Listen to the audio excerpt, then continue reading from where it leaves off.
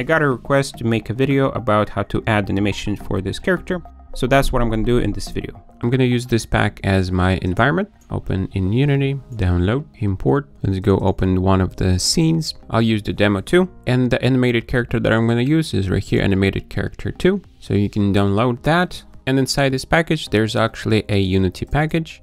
So we can add that and it's going to help us out a little bit because all of the animations and all the materials are created for us import, go back to assets, and now we have an animated character 2 here. And here we have skins, model, and that's what we're gonna add into our scene. So let's put a character here. I think he's a little bit too big for our environment, so let's scale him down to 0.5. Now when you add a model, you can see that there is an animator component, but we don't have a controller here.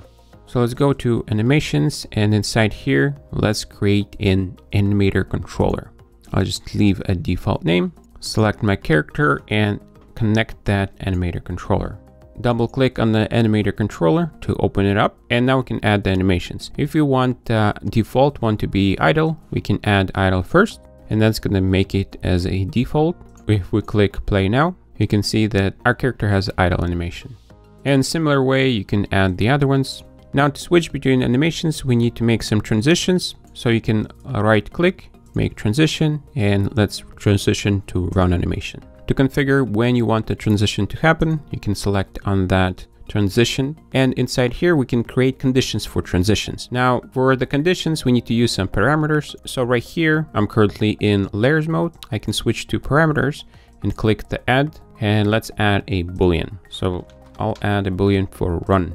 By default it's going to be not checked. And now if I add a condition, you can see that I get a condition when run is true, then it's gonna make the transition. You have other settings here that control how long the transitions happens. I'm not going to cover these settings. I did cover more of it when I was setting up animations for Among Us. There's a link in description if you want to see that one. But let's make another transition that will transition back. Select that transition add a condition, but this time if it's false. You can control this parameter with scripts, but for test purposes, I can move the animator right here and let's click play. So our character starts in idle. If I check the run parameter, you can see that our character switches into run. There is a delay between the transitions. And like I said, there is settings for the transition.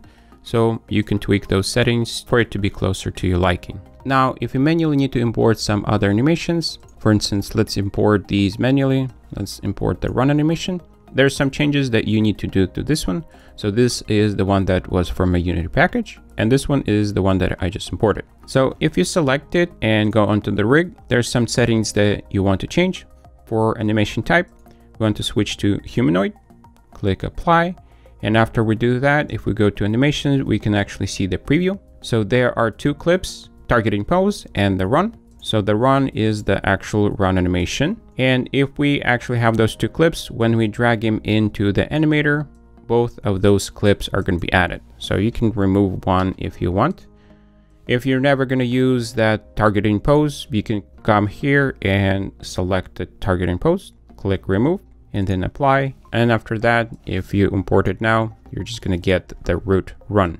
And for the transition, you can do the same thing click play. But you can see that uh, character just runs for a second and then stops after the animation ends. For that, you can select animation and in here you want to find the loop time. So currently it's disabled. If you enable that, it's going to loop infinitely. Forgot to apply, click apply. So if we play now, you can see that it goes the run animation and the animation continues.